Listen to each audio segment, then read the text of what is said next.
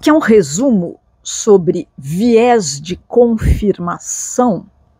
Agora a gente teve a morte do Kahneman há pouco tempo, um pouco mais de um mês, e as ciências comportamentais super em alta sempre, e viés de confirmação super importante quando a gente está falando de investimentos e tudo. Eu vou resumir em uma frase.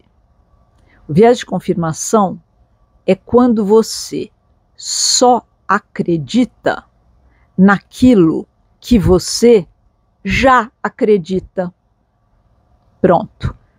Fiquem com esta frase. Eu só acredito no que eu já acredito.